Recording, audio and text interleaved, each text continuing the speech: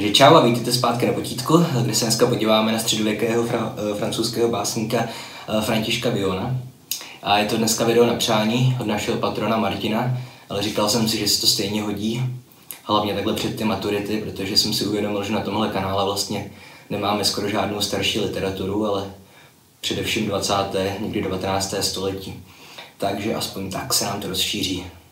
A takže teda François Vion žil mezi lety 1430 až 1463, ale obě tahle data jsou velice, velice nejistá. U narození je to plus minus dva roky, Někde se uvádí 1429, někde 1432, to je úplně jedno, že jo. Ale o jeho úmrtí eh, nevíme vůbec nic, pouze to, že poslední zmínka o něm je někdy z roku 1463.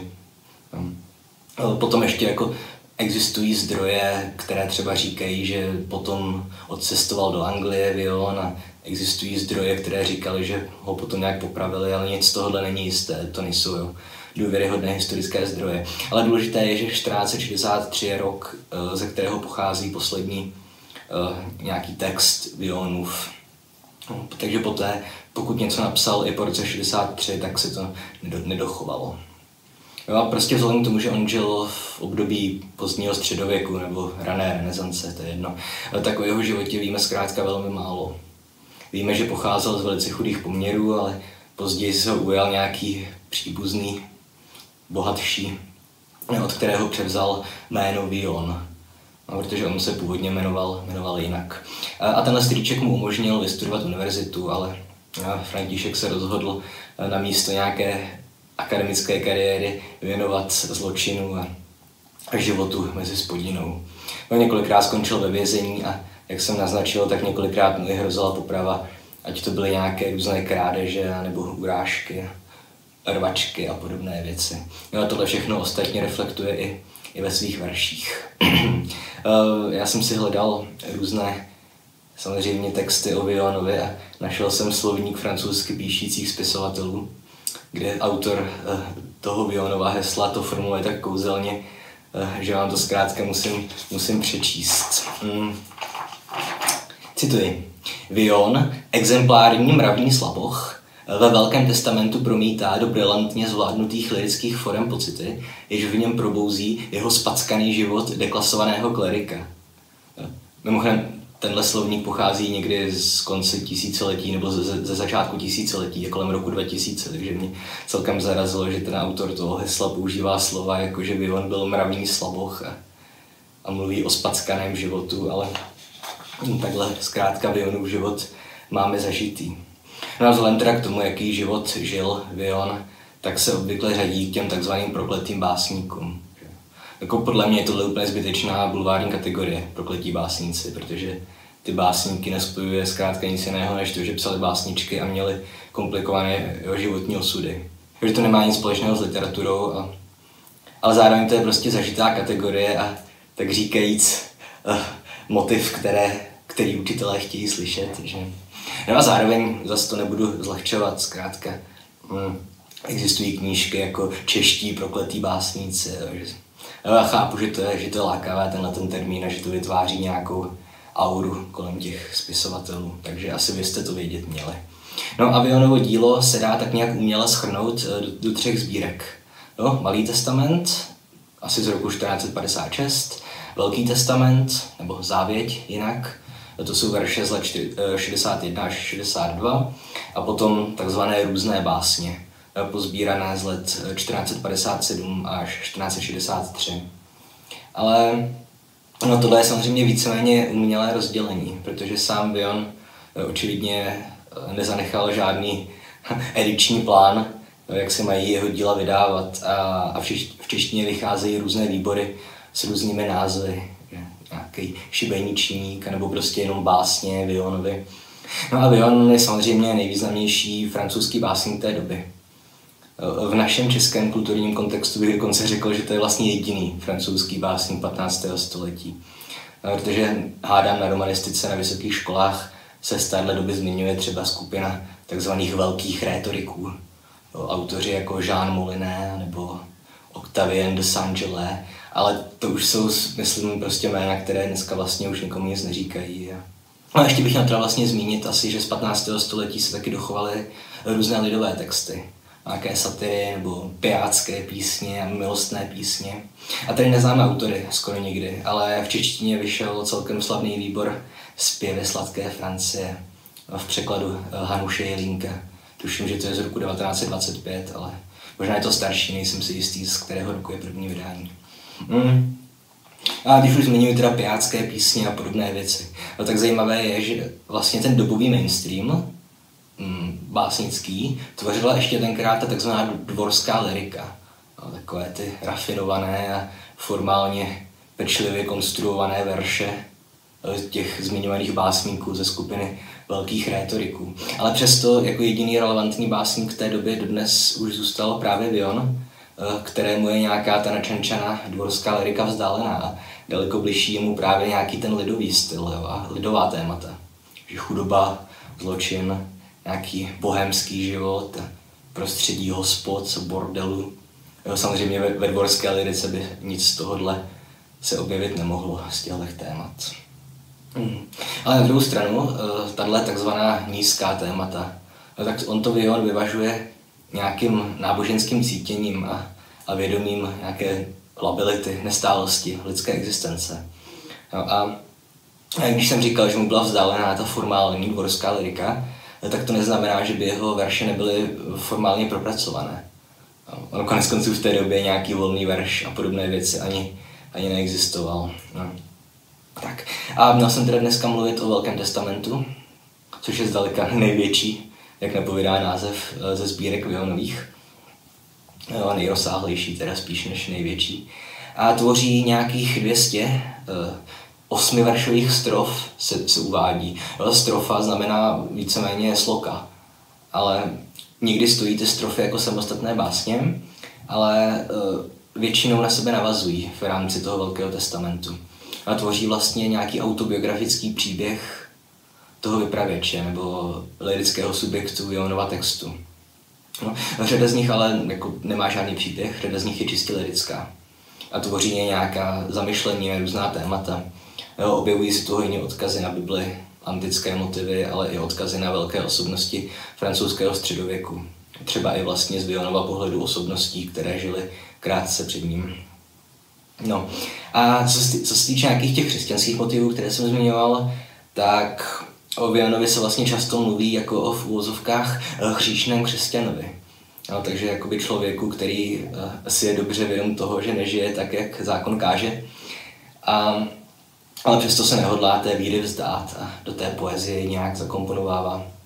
Nebo možná ani nemá možnost se té víry vzdát, že jo? protože člověk ve Francii 15. století asi neměl úplně možnost se stát ateistou.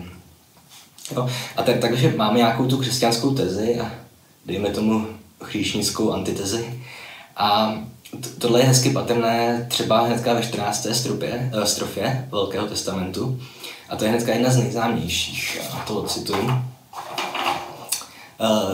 že hříšník jsem, to dobře vím, však Bůh mě chrání před smrtí. Neb věří, že se napravím. A dobrý budu do smrti. Byť z hříchy dojdu ke smrti, Bůh v milosti své nekonečné, pevná víra se vyplatí, promine mé hříchy věčné. No. Takže to je přesně to, o čem mluvím. Zkrátka nějaké křesťanské východisko a nějaká ta hříšnická antiteze. Takže on ví, že je grázl, ale furt nějak doufá, že ten Bůh ho zachrání. Takže, což tady trošku připomíná to Cimmermanovské jsem bezvýhradný ateista, až se někdy bojím, že mi to, to pán Bůh potrestá. Tak, no ale to jsem chtěl říct, na téhle básni vlastně vidíte, že to není žádná rafinovaná poezie. Tady chybí jakékoliv uh, významové básnické prostředky. No, nejsou to žádné metafory, ani, met, ani metonymie. Je to prostě jenom rýmovaná a veršovaná zpověď člověka, který má nějaké pocity. Jo, ani formálně se tu jako nic zásadního neděje. Je to prostě osm veršů, v každém jsou čtyři stopy. Akorát ty rýmy jsou celkem zajímavě strukturované, no, protože ono tady teda hodně asonancí, ale to je možná překladem. Já opět neumím francouzsky, tak to nedokážu srovnat. Ale to rýmové schéma je vlastně, že jo, AB, AB, BC, BC, což, což je zvláštní schéma, že jo. Tohle schéma, které je typické uh, pro balady téhle doby. Stejné rýmové schéma používal prostě i Jeffrey Chaucer, že jo, anglický spisovatel a, a, řada, dal, a řada dalších. A, takže, takže jednak máme tyhle ty strofy, nic, kdo ví, jak formálně zajímavého, ani obsahově komplikovaného. Prostě, jak jsem říkal, jenom takové nějaká zamyšlení nebo krátké příběhy zpovědi člověka. No a a že kromě toho se taky objevují antická témata. Jo? Zatím jsme probrali teda křesťanské téma, ale antické téma. Jo? Ostatně kvůli tomu asi bývá Vion řazen k renesanční poezii. Že? Ale jo, opět zase Vion bere ta antická témata, ale jejich pomocí mm, komentuje problémy jeho vlastní doby. A jsou to spíš ty antické motivy než antická témata, to zapomeňte, co jsem teďka řekl. A takže komentuje problémy vlastní doby, případně problémy, které jsou vyloženě nadčasové. I když jako nemám úplně rád tento slovo nadčasový v, rám, v souvislosti s poezí, že protože co není nadčasové? Buď máte básně o nějakých lidských emocích, že ty tady byly vždycky a vždycky tady budou, doufejme, nebo o nějakých společenských problémech, ty se nejspíš tak nikdy nestratí. Takže ono celá ta nadčasová literatura, to je takový trošku prázdný pojem, no. Ale už jsem to řekl, tak co. A tady, co se týče těch antických motivů, tak jsem vybral ukázku uh, z několika strof uh, o pirátu Diomédovi a jeho soudu u krále Alexandra. Uh, opět to je asi nějakých čtyři nebo pět strof se zabývá tímhletím, tímhletím příběhem antickým. A tady ten, ten pirát Diomedes uh, říká, nebo takhle, on to neříká, ale je to v té básni, cituji.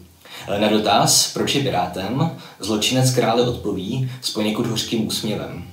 Eh, proč vyčítáš mi pirátství? Ačkoliv každý dobře ví, že moře brázdím v člunu malém. Kdybych měl tolik bohatství, jako máš ty, stal bych se králem. Takže opět problematika stará jako, jako lidstvo samo. Vlastně ten Diomedes se stal pirátem, protože pocházel z chudých poměrů.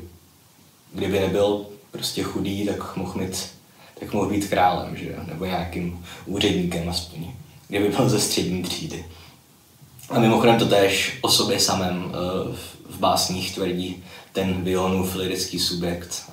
A opět tohle jako téma, které řeší prostě filozofové a básníci od jak živa. I ve, i ve, ve 20. století, že jo? mluvil jsem na potítku o Martinu Heideggerovi nebo Žánu Paulu Sartrovi a jejich filozofii existence. Nebo kde oni oba mluví o problému toho takzvaného nějakého determinismu, jo, předurčení. O tom problému, že my jako lidi jsme prostě vrženi do světa, hozeni do světa, aniž by se nás někdo nejdřív zeptal na náš názor a na naše preference. A zkrátka, pokud se narodíte tamhle nějakým dvěma feťákům na, na periferii Paříže nebo, nebo New Yorku nebo Prahy, tak, tak z vás asi těžko vyroste něco jiného než nějaký, že jo, zloděj, no, nebo obchodník s drogami, kterého v 25 zastřelí buď policajti, anebo nějaký člen nepřátelského gangu, jo, takže a mimochodem tato část Velkého testamentu, tady ty strofy o tom pirátovi antickém, tak to je zakončená mám asi nejslavnějším možná eh, dvojverším od Viona vůbec, tedy neštěstí z lidí lotričiní a vlky z lesa žene hlad. Jo. A jsme zpátky od toho, od, u toho kliše s nadčasovou poezí, že smůla nebo neštěstí lidí z lidí činí lotry a vlky z lesa žené hlady, že tak prostě podívejte se, co se v posledních dějích děje, děje v Americe, že Takže prostě 15. století v Paříži a 21. století v New Yorku furt ty stejné problémy. No. No ale teda kromě sociálních témat samozřejmě se u Viona objevují i milostné verše. No, to by ve středověké poezii ani jinak nešlo, hádám. Ale potom je nějaké vyložení jako rozpustilé nebo záškolácké básničky. Jo, třeba tady mám taky, myslím, citát. Jo, uh, cituji. Ach bože, kdybych studoval, v dobách bláznivé mladosti mé a dobrých mravů, kdybych dbal, dnes bych měl dům i statky jiné. Takže starý dobrý, kdyby se víc učil, nemusel být zlodějem. Takže opět klasické téma. Takže dosud jsem teda mluvil jenom o těch osmi verších, o těch strofách, o tom, jak jsou rozmanité prostě rozpustilé, zklamané o lásce, antika, křesťanství, všechno spolu. A tyhle strofy pak ještě Vion uh, prokládá baladami. No a A opět, jo, třeba v první baladě, v baladě o dámách dávných dob, tak tam se opět vrací k antice, ale i k nedávné historii. Zkrátka to je takový průchod uh, slavnými ženami historie a zmiňuje tu vedle sebe nymfu Echo, že je z řeckých pověstí, ale vedle ní i Jana Orleánská, což je vlastně téměř Vionova současnice. Tak. A opět formální hledisko, tak ty balady jsou psané tu samou rýmovou, mm, tím samým rýmovým schématem jako ty strofy. Takže A, B, A, B, B, C, B, C. Hm. Ale ta balada každá, vionská balada, to je de facto terminus technicus, tak každá ta balada má čtyři sloky, čtyři strofy. Jo, a první tři mají osm veršů a poslední je poloviční. Jo, ta má čtyři verše. A každý z těch, každá z těch čtyř strof je vždycky zakončena nějakým refrénem. Jo, opět podle toho, jako poznáte Viona. Prostě 8, 8, 8, 4 a každá z těch slok stejný poslední verš, stejný. Jo. Takže třeba v případě balady o, o dámách dávných dob, kterou jsem zmiňoval, tak tam je ten refrén Ach, kde jsou loňské sněhy dnes? Nebo pak má třeba baladu starofrancouzskou, tam je zase refrén Čas všechno spere nakonec. A to si můžete nakonec dohledat sami. Jo, a je to samozřejmě dostupné online, že jo, všechno od Viona. Když už je to 15. století, tak na to už autorská práva nejsou. A když tam mluvím o baladách, tak to neznamená mimochodem, že ty baladické básně, že musí mít nějaký smutný nebo strašidelný děj. Jo, takhle to asi má zažité hodně lidí dneska baladu, ale tohle rozdělení na smutné balady a veselé romance, to se ustálilo až někdy na konci 19. století, jo, aspoň teda v českém prostředí. Ale některé Vionovy balady jsou jako vyloženě odlehčené a humorné. Třeba tam balada o pařížankách, tak to je celé o tom, že zkrátka Vion vyjmenovává, jak jsou všude po světě prima holky, ale každá sloka je nakonec zakončená refrémem Není jet holky z Paříže. Takže opět tohle jako sice formálně to je balada, má to tu strukturu, kterou jsem zmiňoval a je to liricko-epické, ale zkrátka na tom není vůbec nic z toho, co si představíme pod termínem balada, třeba v souvislosti s Volkrem, jo, nebo s jinými autory 19. a 20. století. Nebo třeba ještě, já nevím, balada o tlusté Margot. Tak to je prostě jenom popis pracovních návyků jedné pařížské prostitutky. Ale zároveň, jo, třeba balada závěrečná, to je název, ale zároveň to je očividně závěrečná balada té sbírky, tak ta má spíš tragické vyznění. No, je to v podstatě rozloučení se životem toho lirického subjektu. Ale opět, i přesto, je to zase zakončené veršem o tom, že si dá ještě jednu sklenici červeného vína. No. Takže myslím, že abych to schrnul, co o Vionově poezii potřebujete vědět. Uh, ustálená, ustálené formální schéma. Buď máte ty strofy, ta osmi verší, anebo máte balady, což je 8, 8, 8, 4, každá sloka zakončená refrénem. Pak jsou tam ještě asi po jednom kusu eh, jiné básnické formy, ale to po vás u maturity nikdo chtít nebude, jo. stačí vidět balady a, a osmi verší Vivanovská. Z formálního hlediska prolínáním všech možných témat, antika, křesťanství v jednom, opět typické pro pozdní středověk a v renesanci. A zároveň i blízkost těch témat lidových, jo. prostředí hospod, bordelu, bohemský život a tak dále, a tak dále když už se tam mluví o lásce, tak to není nějaké to dvorsko-lirické objevování nějaké té dokonalé princezny, ale je to spíš takový nějaký realistický pohled na mezilidské vztahy. No, myslím, že to stačí k Villanovi. Není to nejkomplikovanější poezie, může si to přečíst každý. Samozřejmě problém tam může být s nějakým archaičtějším jazykem, ale to už zase záleží na tom, v jakém máte překladu. Takže tak, takže znáte to, jestli se vám video líbilo, dejte like, dejte odběr, sdílejte, komentujte, podporujte nás na Patreonu, sledujte nás na Facebooku,